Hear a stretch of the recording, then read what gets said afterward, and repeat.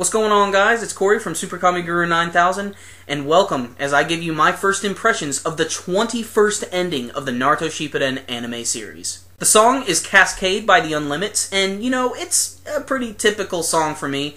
You know, I don't speak Japanese, it's not my chief language, English is, which is probably why a lot of the time both Christian and I probably mispronounce a lot of things from time to time, but can you really blame us? I mean, we do speak English. However, the song itself is very nice and very harmonious and very uplifting, in particular when it gets to the action bits. But if there's one thing this ending is going to do in the fan base, it's going to blow up the pairing wars, because it's pretty obvious what they're trying to do here. They're setting up pairs here. You have, of course, Sakura and Sasuke, and then you have Hinata and Naruto. And these characters are obviously meant to pair together, and that's what they're trying to imply here. And uh, if there's one thing I can say, all the artwork and character designs in the ending here are very, very good. But let's let's really talk about what's cool here. Sage Naruto fighting against Sasuke, and it's all awesome looking here. It seems recently in all the video games and OVAs, they just want to keep doing these badass cutscenes of Naruto in Sage mode fighting against Sasuke, and you know, it's what we all want to see. We've been waiting for that huge epic rematch.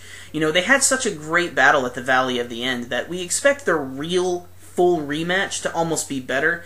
And uh, I love when they do the hand-to-hand stuff with a great animation. It just it looks really cool. It's super fluid. You can uh, really see and feel the intensity in their fight.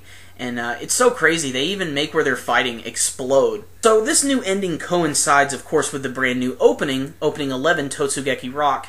And, uh, you know, a lot of the times when there's a brand new opening and a brand new ending, a lot of people like to say which is better. And uh, I can't really say one is better than the other because they're both good in their own right and what they're doing.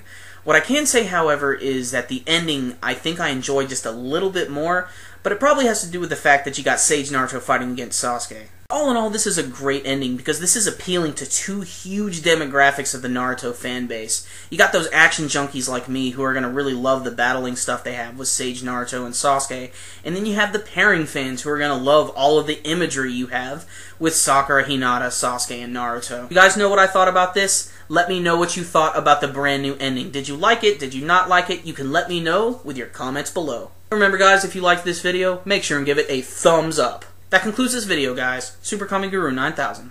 Out.